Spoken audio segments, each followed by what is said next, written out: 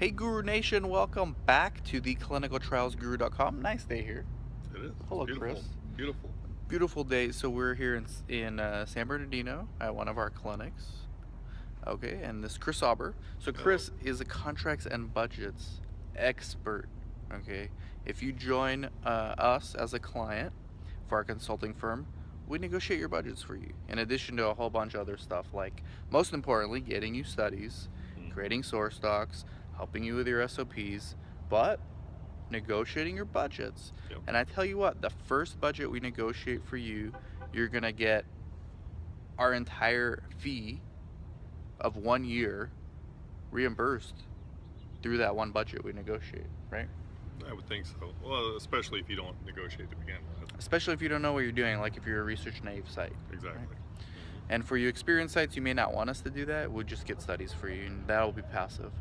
Um, in addition to whatever biz dev stuff you you guys have going on. So, three takeaways that are important because we've done contract and budget webinars before, Mhm. And videos, number of them. number of them, but three takeaways are three things that we can just give to our viewers that we have not mentioned before. Mhm. Okay, so the first one, I have mentioned it, but I'll say it again.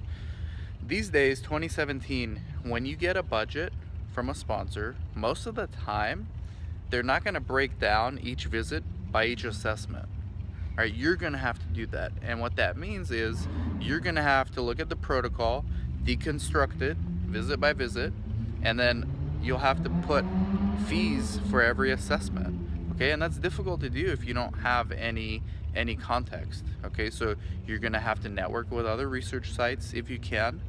Maybe if, if your competitors don't want to network with you, which is understandable, you call someone uh, on the other side of the country, right?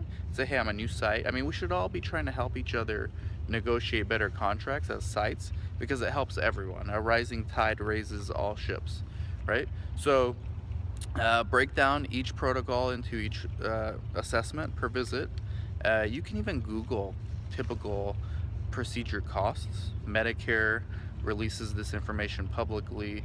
Uh, there's different ways you can get it even if you don't want to network. If you're like a hermit and don't network, you can still do it. That right? being said, though, they do pay more than Medicare. They do pay more. So, yeah. So when you look at Medicare, add in another 30%, which you can also add into your overhead, which we're not going to get into in this video.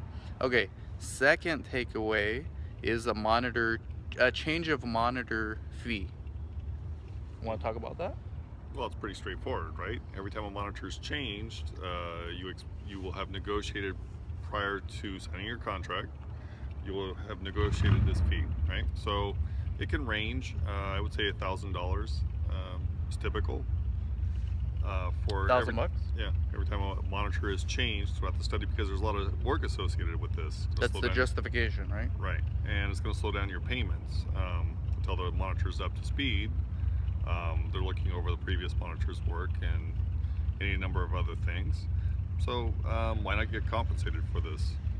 Okay. And number three, what was it? So uh, a lot of, with a lot of studies, there's assessments in which are costly. Uh, MRIs, you know, imaging, colonoscopies, and oftentimes maybe a site doesn't have the capital to afford the initial uh, startup screening phase of this, right? So sometimes you'll often have to screen five or six patients before you have a randomized patient at the start of a study, and you're not going to start seeing those payments until months down the road.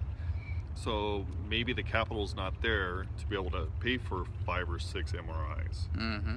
So a good way to get around this is to ask for either a completed patient uh, payment, which is refundable. So if you enroll nobody at your site, you, You are owe going to owe this. It's like a loan. Right, it's a loan for one completed patient. Interest-free loan. Exactly. So let's say a completed patient pays thirty thousand dollars, you'll get a thirty thousand dollar uh, refundable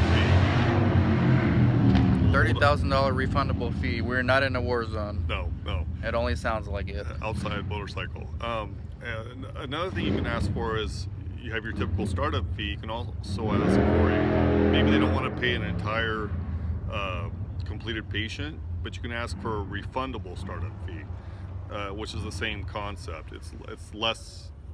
Again, use the example, thirty thousand. It'd be less than thirty thousand, but maybe they'll give you ten thousand that's refundable. again, if you don't enroll a patient, you have to pay that 10000 back, and your startup fee, you don't pay back. But this is a refundable startup fee to help you cover those initial costs.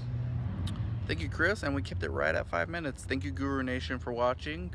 Dan and Chris from the Clinical Trials Guru.com. Take care.